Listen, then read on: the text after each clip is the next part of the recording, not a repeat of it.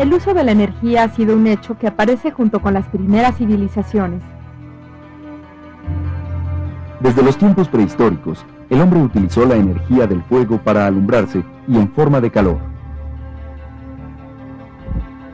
Posteriormente, aprovechó diferentes fuentes de energía como son el carbón y el petróleo. En tiempos modernos, el hombre utiliza desde la energía eléctrica y química hasta la nuclear como una promesa para grandes avances.